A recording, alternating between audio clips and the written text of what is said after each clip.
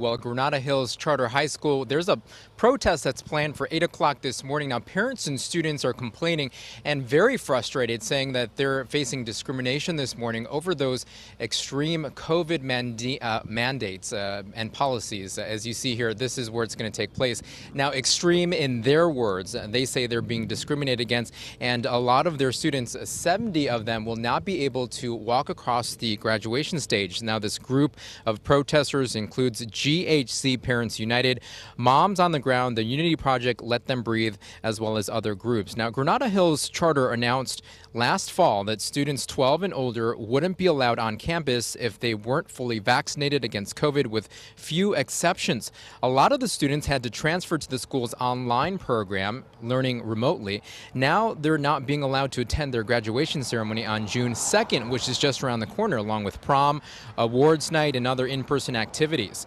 Granada Hills Charter in San Fernando Valley followed LAUSD's lead with their COVID mandates. However, LAUSD has since delayed their student COVID vaccine policies to July of next year.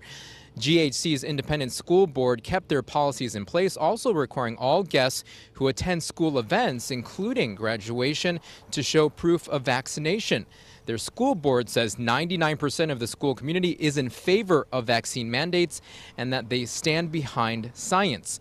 Los Angeles County public health officials reported more than 12,600 new cases of COVID 19 over the Memorial Day holiday weekend, or I should say overall, more than 12,600 cases of COVID, with 13 COVID related deaths. The county also reported 2,900 new cases just on Monday alone.